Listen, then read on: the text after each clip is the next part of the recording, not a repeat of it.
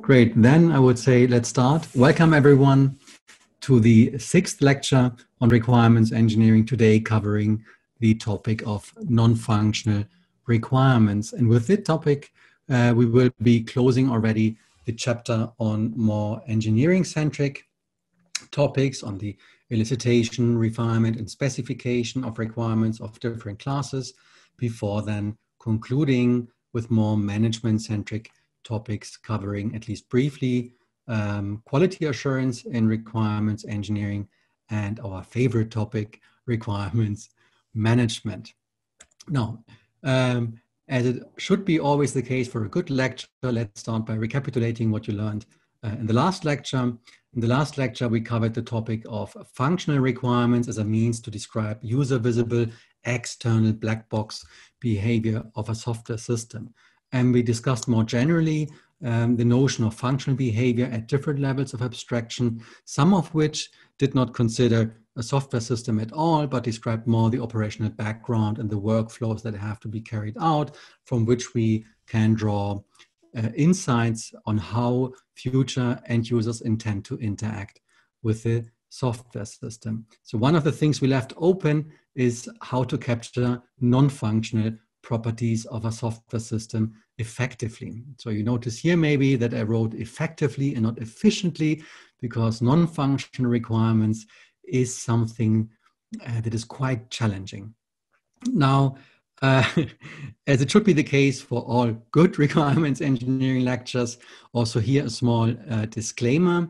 You may recall um, from the last lecture on functional requirements that we said that the literature is quite full when it comes to the specification of functional requirements, what functional requirements um, are. And that gave us um, the opportunity to be able to concentrate on the essence as reflected by the concept model of MDIA.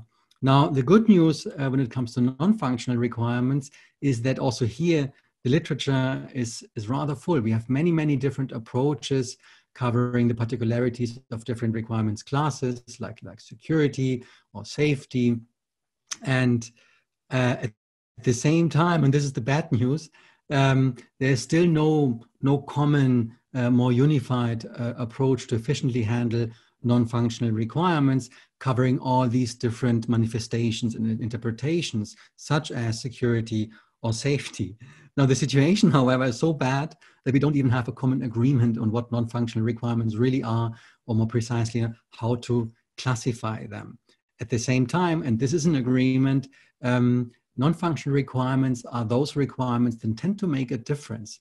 They are very, very critical for project success which means that in contrast uh, to when it comes to functional requirements, uh, the topic of non-functional requirements needs, um, I would say, far more attention that, uh, than any single lecture could ever give, maybe even an entire course. So my hope for today is that I can at least increase your sensibility for the relevance and the challenges um, you might experience when being exposed to non-functional requirements. Um, also uh, what the literature has to say and um, that it's not really sufficient to come to uh, to tackle the challenges that we face in practice and last but not least how we do it in MDIA and why we do it the way uh, we do it in MDIA. Now all that being said uh, even if you have a reference model like MDIA that guides you through the classification and specification uh, of non-functional requirements, this can never compensate for missing experience and expertise um, for the different classes of non-functional requirements, such as security, such as performance or usability, which is also the reason why it's so important to apply it also yourself and to play around with the different classes as we will learn it uh, today, which is, as always, in scope of the hands-on section. So what are the goals um, of today?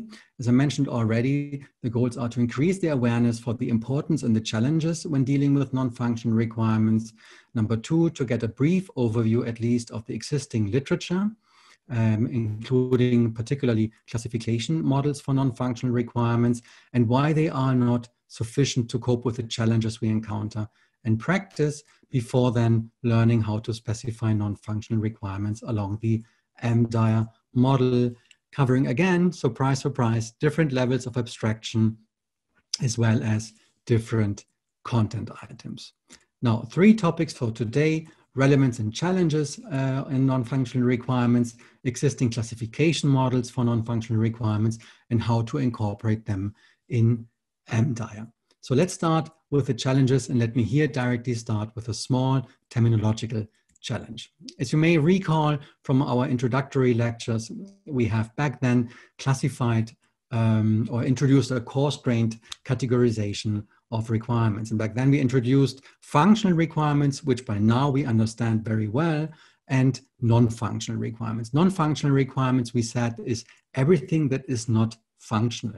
And this, of course, is rather um, unsatisfying, which is the reason why we back then already introduced two more uh, fine-grained classes. So we will be refining the terminology in the different classes later. But for now, we can dis distinguish already uh, quality requirements or quality attributes that my software product shall, have. So product-oriented um, quality. This includes typically quality characteristics and properties of a software system. This is where you find all these ilities like usability, modifiability, maintainability, but also security, safety, performance, all these more non-functional qualitative um, attributes. And other than those more product-specific uh, quality requirements, we can distinguish more process-oriented quality attributes. So these are typically restrictions or constraints imposed on the development process, including things like scheduling, milestones, budgets, but also the software process model used, and restrictions imposed more on the actual implementation, on the solution space. For example, um, that certain uh, programming paradigms maybe should not be used, like object orientation, or that a specific language must be used, or that an Oracle database has to be used. Now, one thing to be aware of is that in literature, very often quality requirements and non-functional requirements are treated as they would be the same. They are very uh, often used as synonyms and interchangeable. Now, this is important to understand. Quality requirements and non-functional requirements are not the same. So we have different requirements classes that all of them have different concerns and therefore require a different way of handling them, ranging from the elicitation over the refinement, classification, and the verification. A simple example, uh, let's take um, a constraint on the implementation, you could have, uh, for example, something like uh, this programming language has to be used, for example, Java, um, and compare this with more usability oriented needs by the end user. So we approach both classes very, very differently, which is what we mean by concern. Now, let's talk more generally first about quality and why even bothering. So as I mentioned earlier, the project success is often, if not always, measured in terms of quality. And here we can distinguish two perspectives. One is on the product quality, where we have the quality attributes such as usability, performance, security, safety, reliability, availability. I could go on and on. I will show you later uh, a taxonomy. And next to that, we can have a perspective on the process quality. So this includes typically time and cost. For example, cost of production, operation, maintenance, evolution, and so on. Now, as if that would not be already quite complicated, in addition to that, we need to consider both also in relation to the relevance to the stakeholders in terms of cost and benefit.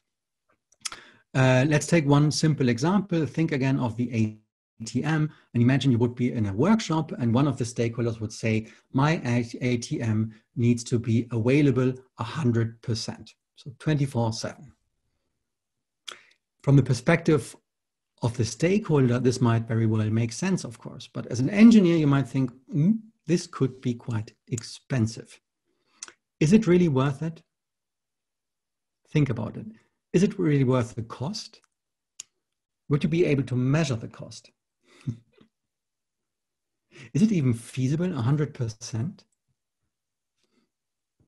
Now, I did my homework. I checked um, a couple of service providers, among them uh, Amazon Computing. And not even the Amazon Computing service level agreement promises 100%.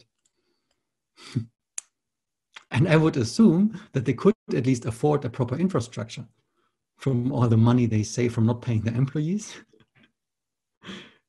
but so 100% might be a little bit too much. It's difficult to assess if the stakeholder really needs 100%, 24 7, even at night. Does 3% less make a difference? 97%? A difference in, in terms of relevance, but also in terms of cost of implementing that. Now, I hope you see where I'm going with this. Um, measuring whether my software system fulfills uh, the availability of 97%, for example, or 98%, this is not the problem. Specifying the requirement in a measurable way is not really the challenge. But this is also not the point. How to measure what is really necessary and how to measure what is really justified, this is the challenge. And this is the problem we have with quality requirements. At the same time, these tiny differences tend to make the difference. This is what can turn a good enough product into a really good product, or a good enough product into a really bad product. Now, let's consider the uh, example of smartphones at the bottom, what you can see. Now, two randomly chosen smartphones.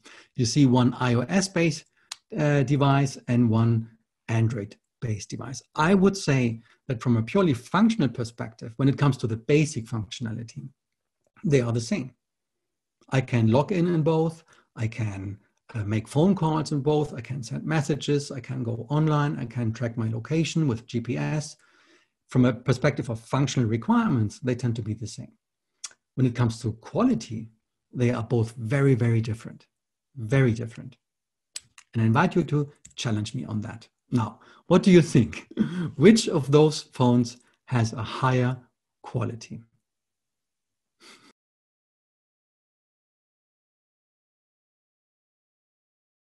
The same? now you sound like my mother.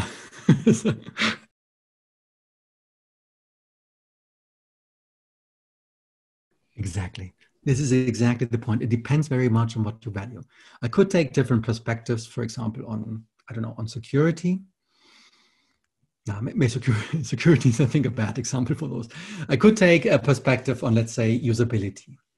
And I could say, uh, maybe I, as a, as a middle-aged, clumsy professor, uh, might prefer one over the other. I think it's more usable, but it could be also what I'm used to be using.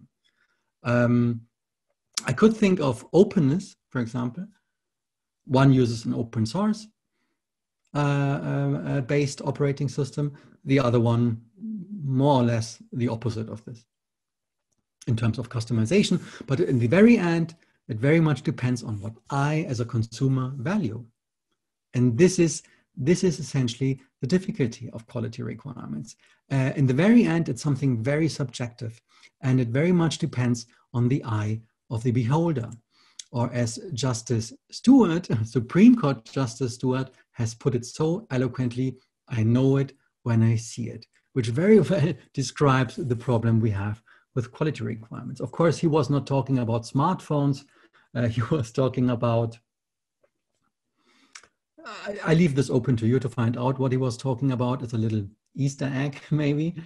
But um, take with you the following specifying quality requirements is very, very difficult. It's very, very problematic. This starts with the elicitation of quality requirements in terms of what is really needed, over the analysis of quality requirements in terms of what is really feasible, uh, over the specification of quality requirements in terms of how to make them measurable, testable, uh, over to the assessment of quality requirements in terms of verifying their correctness, but also their relevance to the stakeholders. Now, not specifying uh, quality requirements, neglecting them is, of course, even worse. Now, at this point, I could uh, tell you further some, some um, smart insights, but I think at this point, it's uh, maybe better to just fool around a little bit with a couple of examples. And all of those examples, and this is important to understand, all of those examples uh, we could see already in practice. They have made it to requirements, specifications, most of which have been accepted. And please keep always in mind the people that specified those requirements are highly skilled engineers. They know very well that some of those requirements are not really good, but uh, they could not really deal with them because it's very, very complicated. Now, let's start with the very first example. And I think that you have seen it already in one of the past lectures. Now, this requirement has been classified as a performance requirement. So the performance of a software system. And it says the perceived response time shall not be too high. So what problems do we face um, when formulating a requirement like this? It's uh, very difficult to uh, verify that uh, exactly requirement. Yeah. Exactly, exactly. It's not ver verifiable. Always ask yourself, can I test it? This is a very important question. Always keep this question in mind. Can I test it? Can I test my system against this requirement? Can I unambiguously, objectively decide if my software system satisfies this requirement or not? Now let's keep playing with this very example. Um, at which level of abstraction would you say is this requirement? Is this more at the context level, uh, which is more bound to general motivations and operational background, or is it uh, at the level of a proper requirement?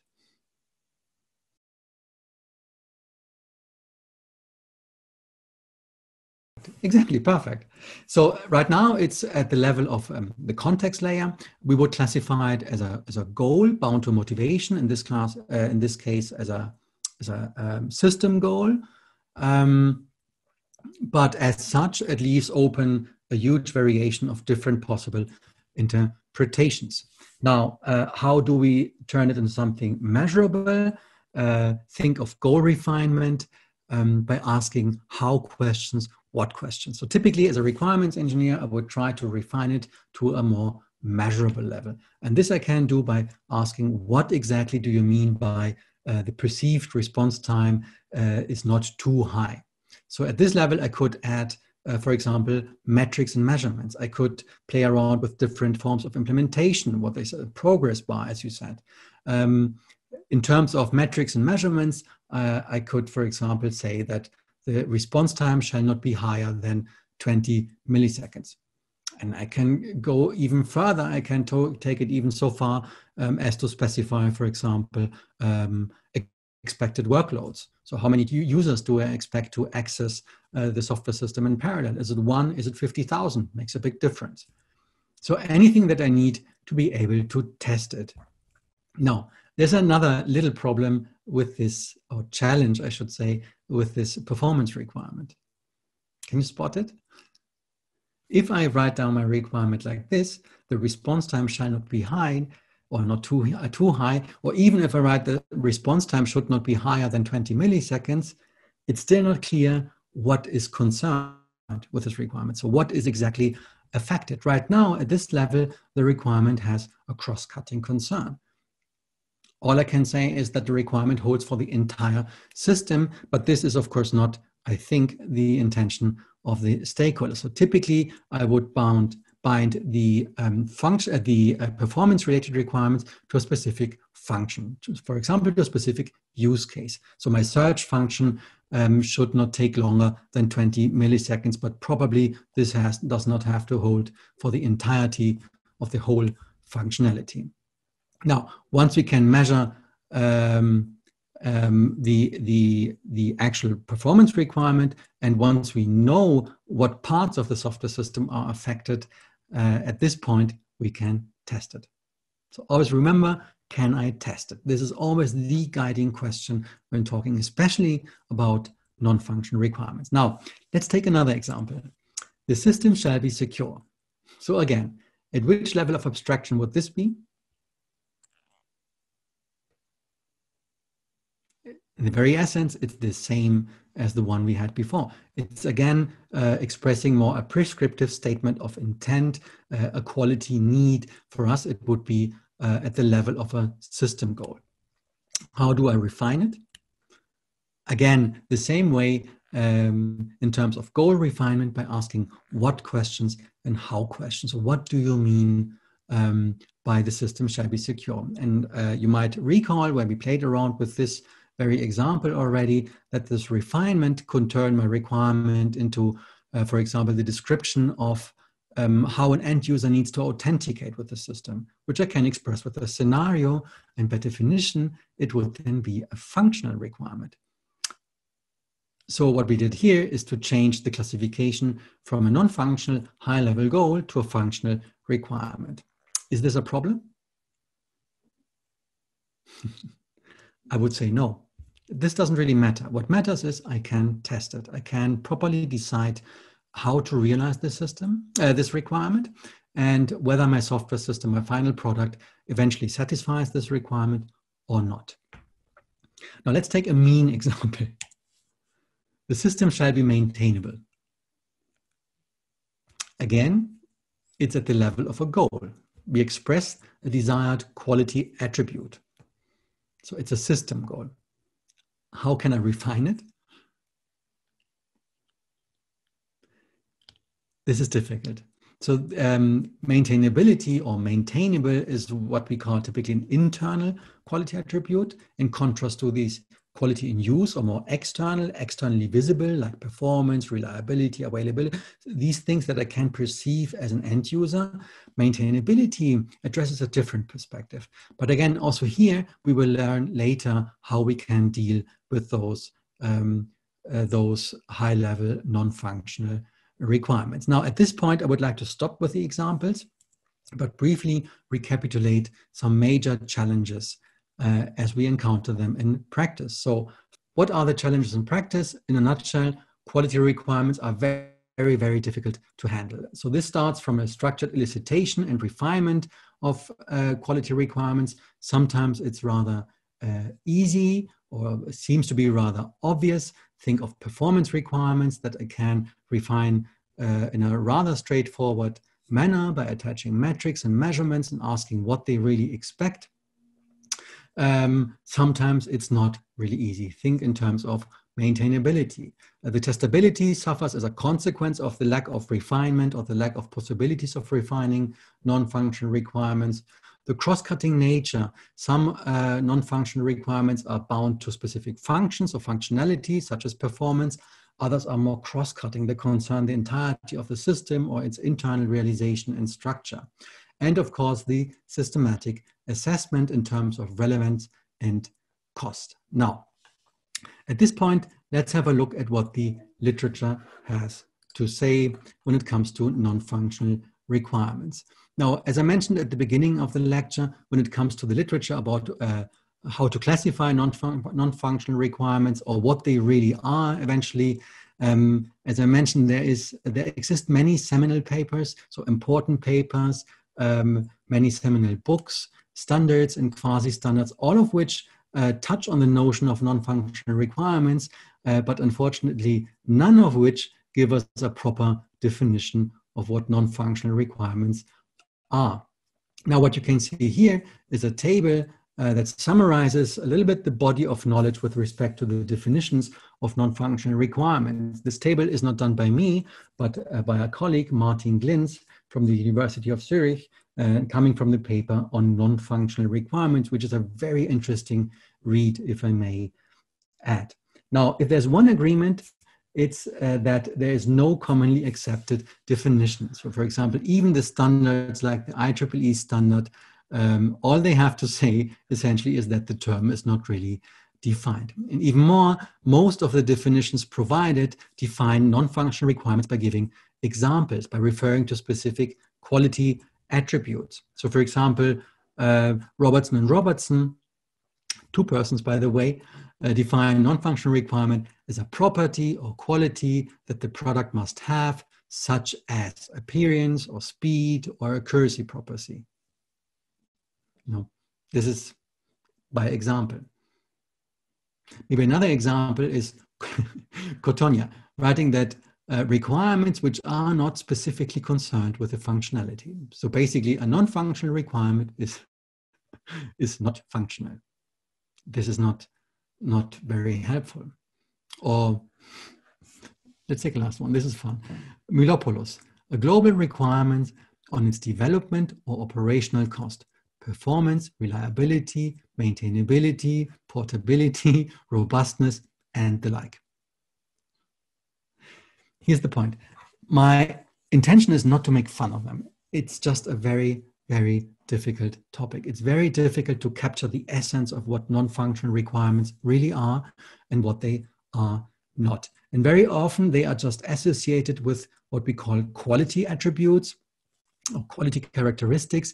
And these quality attributes, and these quality attributes uh, are what are in scope of so-called quality models or system quality models. So let's have a brief look at what these quality models have to say. This is just a quick excursion um, coming not from requirements engineering, but from a different perspective. In this case, quality management or quality engineering. Now, what are quality models? Quality models or quality definition models, also often called, are models that define which quality aspects and concepts exist and how they are related to each other. They essentially say what quality is and how I can categorize the difference, the different perspectives on quality. So quality models are typically captured in form of a taxonomy. So the taxonomy you can see here is the one that has been established by the International Standardization Organization, ISO, uh, as part of the standard for quality. And these quality taxonomies distinguish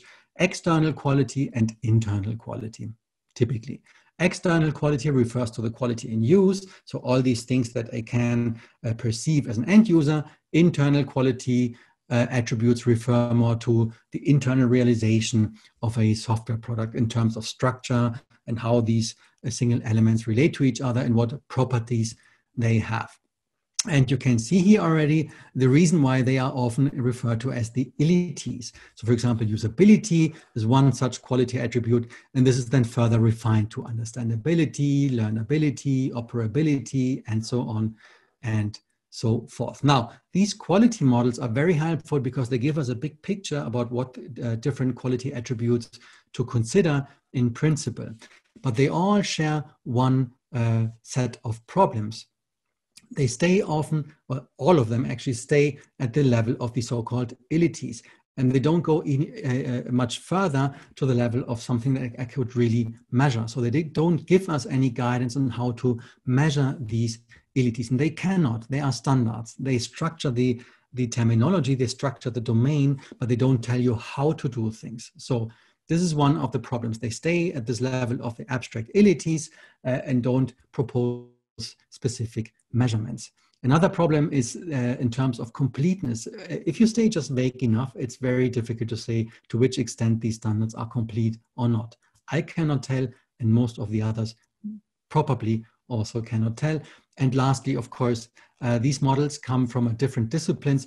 Uh, discipline requirements engineering is not in scope of them. Anyway, let's uh, keep this small discussion because there's one specific quality model I would like to briefly share with you. Now, in response um, to this lack of, of measurability, in response to the um, this more abstract and vague notion uh, that you can find in these quality models, there have been some trends in the research community. One of these trends has led to um, approaches to support quality modeling and quality assessment. And what they did is they took a different perspective on these ilities, driven more by the desire to have something that they can measure. Most of these approaches come from the area of software maintenance uh, rather than requirements engineering, needless to say. And one such example I would like to show you is the activity-based quality model. Now, what is so special about models like them? So what these models do, so first of all, these emerge from academia industry collaborations and driven by the need to tackle the practical problems out there, among them the lack of measurability. And what these models do, they take a different perspective. They define quality by the extent to which um, software or system properties, the structure and the elementary properties of a system support or hinder the activities I want to carry out. So for example, instead of saying I need to um, support the maintainability by the understandability and so on, they asked what are the typical tasks associated with software maintenance. For example, understanding the code. Code comprehension is one such thing. And code comprehension includes reading techniques, specific reading techniques and how to understand software code. And based on this understanding on the activities, I can start thinking and reflecting about what the properties are that a software system must have in order to have a positive influence on my reading. So, for example, I need unique identifiers. I need to have a specific code structure and format. I need to have, for example, a specific documentation of my code, uh, a comment density of my code. And this is how we can then measure the uh, software uh, quality by asking ourselves to which extent does my software system support the activities. Now, there is a reason I'm mentioning this very specific um, quality model, which is that we will be using uh, the very same idea also in context of AMDiRE, at least as a fallback solution. Whenever I have um, a quality goal, a system goal that is very hard to measure, such as maintainability, instead of trying to invent certain measurements and metrics, um, I can ask instead, okay, what are the typical interactions, what are the typical tasks that need to be carried out during maintenance? And this allows me to infer something that I can at least decide, something that I can test. Now, but this only is a small excursion, uh, but let's summarize uh, these quality models still by, by keeping in mind that requirements engineering has never been in scope of these models. So let's have a quick look at what the requirements engineering models and taxonomies have to say. So the requirements engineering taxonomies uh, for non-functional requirements, they come from a different perspective and they structure uh, what um, different categories of non-functional requirements to consider. One such example is the non-functional requirements taxonomy introduced by Axel van Lamsweerde uh, in a seminal book on requirements engineering, which you have also listed in uh, Canvas. Now, at this very example, we distinguish four different categories of non-functional requirements, starting from the quality of service, uh, so everything that I as an end user can perceive, these user perceptible quality attributes, over things like compliance or architectural constraints or development constraints. So for example, when it comes to the actual quality of service or the quality that I perceive as an end user, I can distinguish safety, security, reliability, and so on and so forth.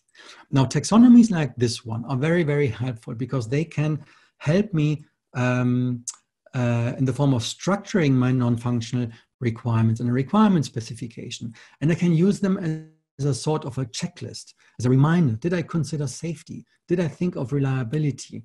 uh, when eliciting my requirements, and so on. Uh, however, that being said, they don't really guide the uh, refinement of requirements to a measurable level, especially from the perspective of the different concerns that the requirements and the different requirements may have. All of them requiring a different way of handling the requirements. Uh, just three very simple examples that you can find all under the very same umbrella of quality of service being security, performance, and usability. Think of the examples I've shown you before. Security tends to be of cross-cutting nature. Sometimes it's not even non-functional. It depends on how I refine it. Performance tends to be bound to a specific functionality, it tends to be part of a use case. When I elicit uh, performance requirements, I tend to do this along the same workshops, along the same uh, elicitation uh, workshops where I specify the functional behavior. Usability is typically bound to more structural entities of a software system, for example, interfaces or workflows, how I navigate through these interfaces. Now, this lack of a concern-based um, perspective has led to one response, which is another taxonomy that has been introduced by Martin Glinz. And in this taxonomy, he defines a quality requirement as a requirement that pertains to a quality concern that is not already covered by functional requirements. So in consequence, when you see the different classification of the uh, requirements into functional requirements, then these quality attributes and constraints, he distinguishes performance and because performance tends to be treated very differently than the other, uh, what he called explicitly than the other ilities. Now, this uh, has been a very valuable contribution because it fostered an, uh, a much overdue discussion in the community of researchers and practitioners. And it's already the first step towards a more concern based classification. Uh, it's very helpful, but needless to say, the actual guidance on how to refine uh, non-functional requirements over different levels of abstraction and how to ensure the measurability uh, has never been in scope of these um, taxonomies. Which brings me already to the conclusion on the state of the art. Um, the state of the art is useful to get a better understanding about what quality may be and what non-functional requirements may be, but they are rather weak when it comes to the practical challenges introduced uh, before. We have quality definition models that are based on what we call system models. Uh, they help us understanding what quality is and what we, how we can measure quality, but they completely ne neglect requirements engineering. Coming from the requirements engineering perspective, we have taxonomies to classify non-functional requirements, to offer some sort of classification, but they do not cope with the challenges in practice when it comes to the refinement of requirements, how to make them measurable. So there is again a gap between practice and theory. Uh, that being said, in AMDiRE, we are drawing from some of the insights we gained through practice and through uh, the theory in requirements engineering, which I will be introducing next. Great, so then uh, let's talk now about how non-functional requirements are covered in the AMDiRE model. Now, um, when it comes to AMDiRE, there are um, there are two things that you need to understand. So number one is that AMDiRE is based on a system model. And you will find an excerpt of that system model in the extended slide set that I gave you as an excursion for the specification of the system uh, layer, for the system specification. What we mean by uh, that is that if you consider the conceptual model of AMDiRE, so where we uh, specify all the modeling concepts that need to be considered in requirements engineering, we don't focus only on the inner world of requirements engineering. So what a use case is and how it relates maybe to a quality requirement or things like that. But what we do is we take a holistic um, a holistic view on what the elements are at the system layer and how these elements at the system layer connect to the upper layers, to the requirements layer. Which means that by definition, uh, the AMDiRE concept model and the content model is concern based because all the different entities that I specify during the requirements, requirements engineering, they need to lead somewhere, in this case to the system model. Now, the second thing is that AMDiRE um, is built around the very same um, idea and the principle that is also captured in the activity-based quality model. Um, the usage model or the, um, the, specification of how end users intend to, intend to interact with our software system builds one fundamental part in requirements engineering. And we will be making use of both. So in consequence, especially of this concern-based classification that you have in AMDiRE, we distinguish four different uh, non-functional requirements classes.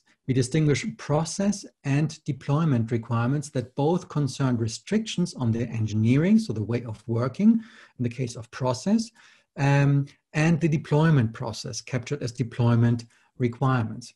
We have system constraints that concern restrictions on the solution space um, beyond what is necessary from a functional and a quality perspective.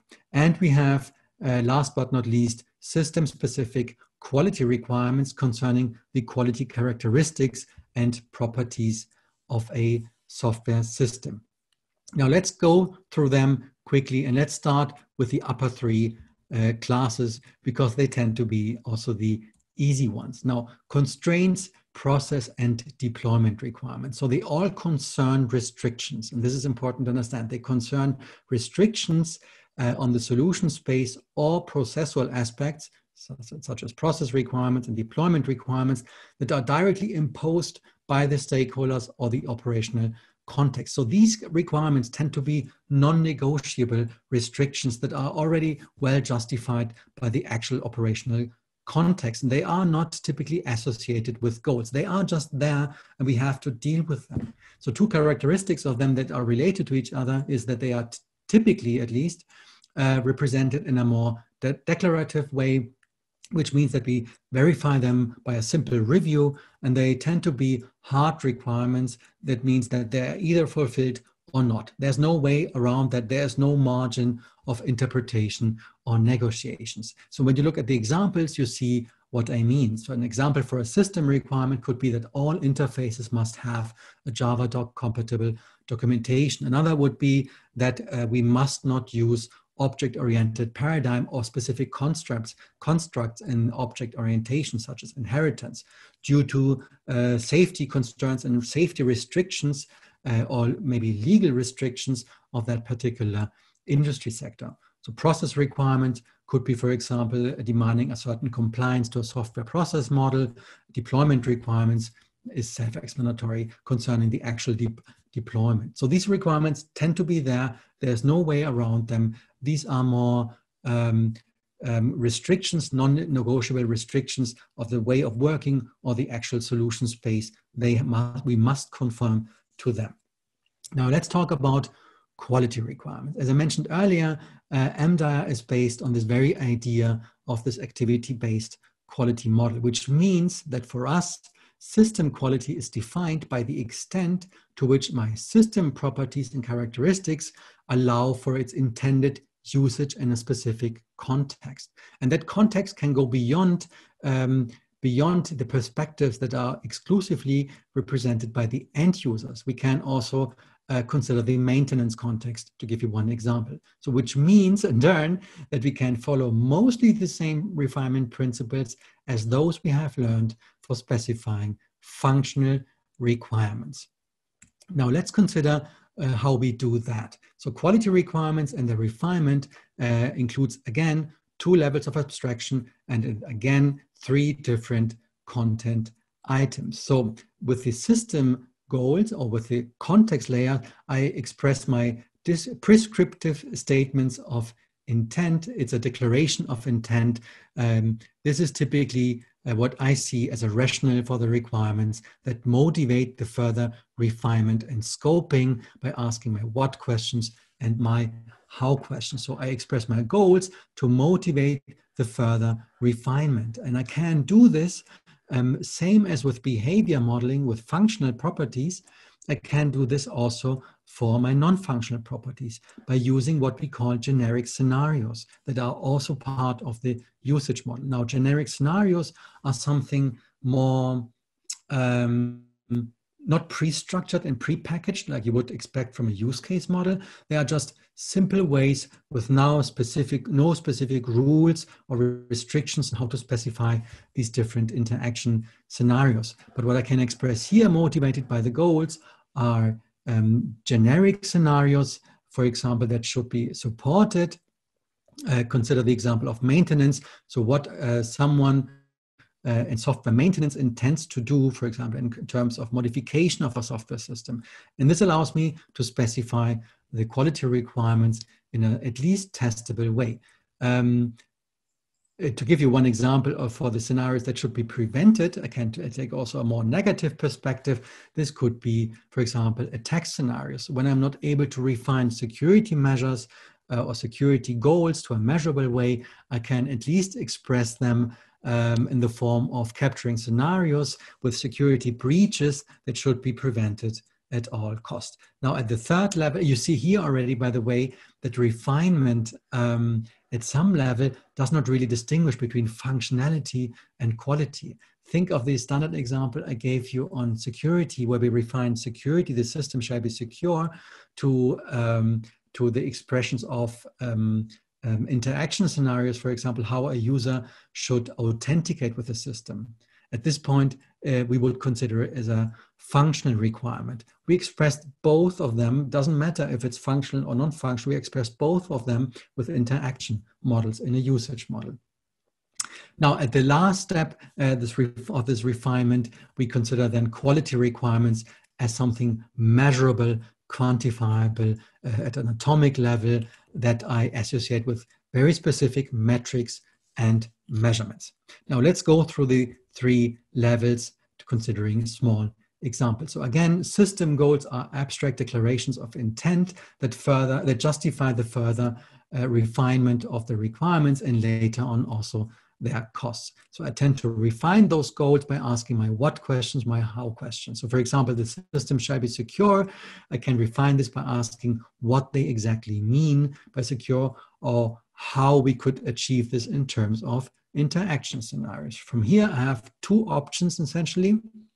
Either I'm able to directly infer proper metrics and measurements. Think of availability, where I can say it should be available up to a certain percentage, or it should not bypass a certain downtime by a certain percentage. Or if I'm not able, I can use my generic scenarios. Now, generic scenarios are always a fallback solution. They are not the primary goal. I can use them in case I'm not really able to specify quantifiable quality requirements. And these are typically for these, what we call the hard cases, for example, maintenance or um, security related um, activities that should be prevented. What you can see here is one example for an attack scenario, for describing an attack scenario, um, that should be prevented. And if I'm not really able to infer and to turn my, my high level goal, the system shall be secure, into something really measurable, I can, for example, describe um, a attack scenario that should be prevented. And I can do this by drawing from other guidelines that describe these typical, that capture these typical attack scenarios. For example, I don't know, SQL injections or you name it. There are multiple different ways uh, of fostering a security breach. These negative scenarios, by the way, are also called misuse cases. Misuse cases uh, have been introduced by the University of Bergen and um, uh, uh, define a uh, somehow structured way, at least, to specify these more negative interaction scenarios that I want to prevent with my software system. But keep in mind, there is no predefined structure. When we say generic scenarios, we just try to specify some sort of interactions that should be supported or that should be prevented. Finally, quality requirements, as I've mentioned already, uh, are the level of requirements that I associate with very specific metrics and measurements that I tend to see as something measurable that I can decide. They, of course, in consequence, fulfill coming from this top-down relationship, this, this refinement relationship that I have. They tend to fulfill my quality-related system goals and enable my quality related scenarios. But important is to understand that I should not model this whole top down way. I should use either one or the other as a fallback solution. Examples for a more binary matrix where I can say yes, no are given um, at the bottom of the slide just to give you a little bit of a, a feeling. Now, at this point, I would like to stop already with AMDiRE because I really believe that you need just to play around yourself uh, with one exemplary uh, quality attribute, which is in scope of our hands-on sessions, either the lab session or the project Q&A session. But let me conclude uh, by recapitulating again the challenges we have encountered in practice. Uh, so what about this structured uh, elicitation and refinement? Is that supported when considering this top-down view, this rather simplified view? Yes, we have three different uh, content items for the quality requirements covering different levels of abstraction, ranging from system goals over generic scenarios to um, the level of quantified quality requirements. Are they testable? Yes, well, yes and no. At least I have a way to refine them and to capture them in a way that I can test, even if it's only by relying on generic uh, scenarios. The cross-cutting nature, as I've mentioned already, is captured by definition uh, of the underlying uh, AMDiRE concept model. And when it comes to the systematic assessment and relevance of costs, when I had back then started developing AMDiRE, I always try to argue, yes, yes, this is possible by, by using that technique or this technique, but truth is, no, not really. So it's, it's not really, it's not in scope of any guideline. This is an unsolved issue uh, when it comes to the assessment of the relevance of a requirement to the cost of a requirement. This is where you need experience and expertise. Now, that being said, speaking of experience and expertise, AMDiRE guides the refinement and specification of requirements of functional and non-functional requirements to the level that allows us to test them. But it's never a way, it's never a compensation for missing experience and expertise. As I said at the very beginning, um, you will always need a certain experience, which is also the reason why it's so important to try it out um, yourself. And also, that being said, specifying quality requirements, I think especially of the, uh, the generic scenarios, tends to be something very, very labor intensive. And sometimes, sometimes uh, it might be justified to leave the non-functional requirement at the level of maybe not the perceived response time should not be too high, but maybe sometimes at this more generic high level. Which brings me to starting with the conclusion. As I mentioned already, you need to apply it yourself. You need to try it out yourself. And my proposal would be consider your project um, that you have and think about what the quality attributes are that might be really critical for this project. Decide for one or maybe two and think about how you plan to describe them in a measurable way. Brainstorm and bring this to the hands on sessions so that we can discuss them all together. And with this, I would like to conclude today's lecture. Thank you very much for your patience, and it's time for questions and discussion.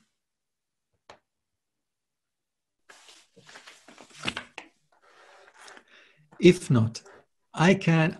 So take one thing with you. I'm very, Julian and me are both very much aware that some of the topics tend to be more overwhelming. We've put a lot of effort, uh, as you can imagine, into trying to focus really on the essence. And still, this is very overwhelming. And this is perfectly fine. So really take your time, give it some time, let that sink in and make use then of the project Q&A sessions where we will have then the opportunity to really discuss the essence um, of how to specify them.